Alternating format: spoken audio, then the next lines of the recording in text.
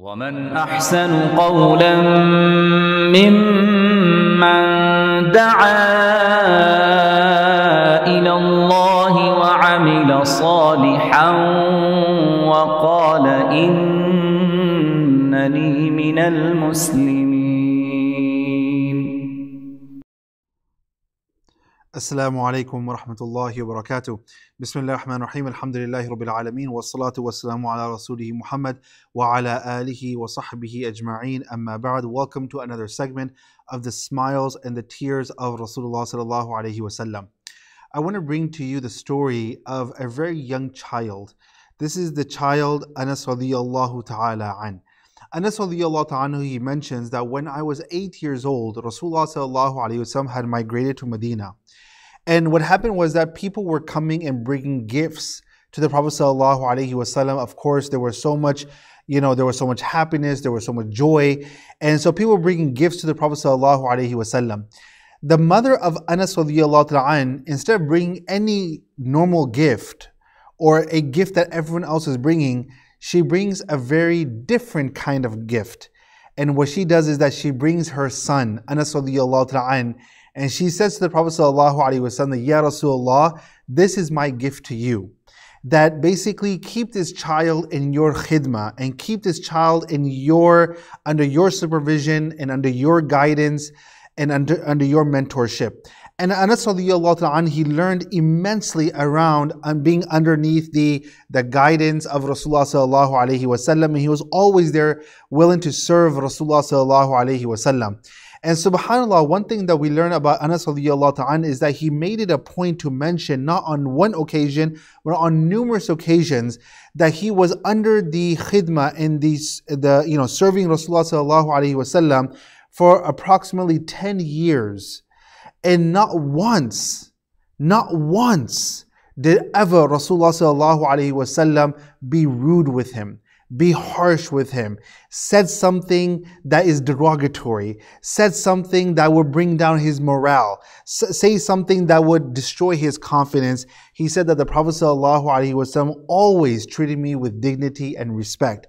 And not only that, but he would always make dua for Anas radiallahu ta'ala an. And so one day it is mentioned that Rasulullah he called Anas and he sent him to go take, a, take care of a responsibility to run an errand for him. Now, you have to understand, Anas now we don't know exactly when this was in those 10 years, but we do know that this is a time when Anas is growing up, and this is a time when he's a child. And just like children, you know, children, they forget a lot of times their responsibility. You have to keep on reminding them. Now, the Prophet he sends Anas to go take care of something, Anas says, radiallahu that as I was passing by, as I was going to go take care of the errand, he says, I passed by a group of kids who were playing.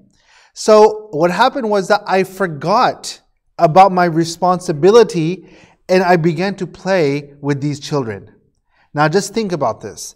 If you and I were in this position, we gave a responsibility and your child is, be- is beginning to play and they completely forget about their responsibility, a lot of times, including even myself, we would get upset.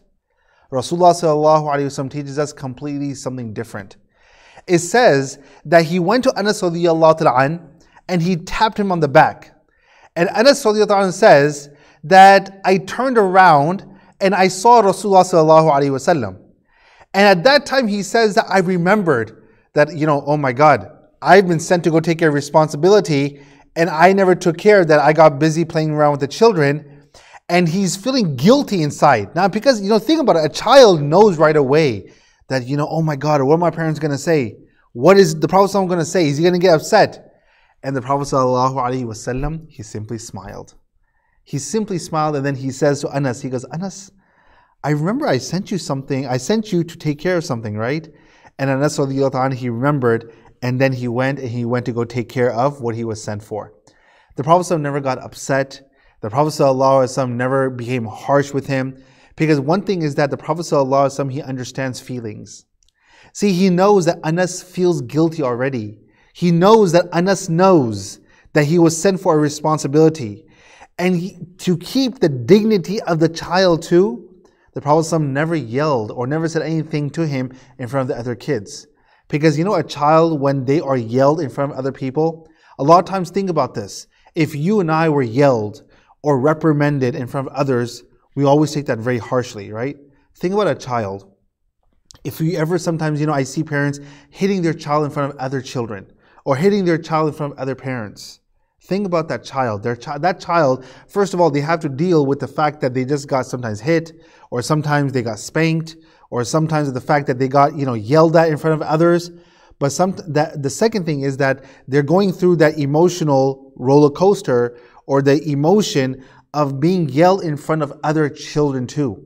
The prophet ﷺ, he took care he understood the feelings of anas an. he understood that if he did something like this in front of them then how you know he will feel embarrassed. So not only so first of all the prophet ﷺ will not even do something like this. But if the Prophet were, were to even do something like this, he never did that in front of the other children. And that's something key that we have to keep in mind. So always keep the akhlaq of the Prophet ﷺ in front of you. Always remember how would Rasulullah do something. Today, you and I, brothers and sisters, we are filled with so many fallacies. We are filled with so many weaknesses, so many deficiencies. And this is why we study the life of the Prophet ﷺ to learn how he was a person and how he dealt with situations. I ask Allah subhanahu wa ta'ala that He guides us in every single aspect of our life. And may Allah subhanahu wa ta'ala always give us the ability and the tawfiq to do that which is right. Ameen Rabbil Alameen. Jazakumullah khair. Assalamu alaikum wa rahmatullahi wa barakatuh.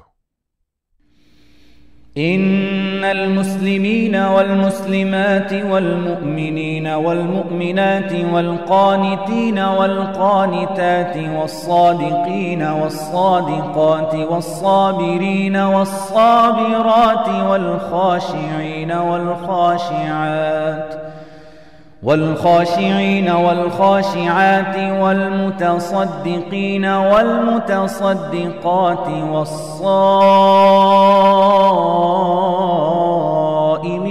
والصائمات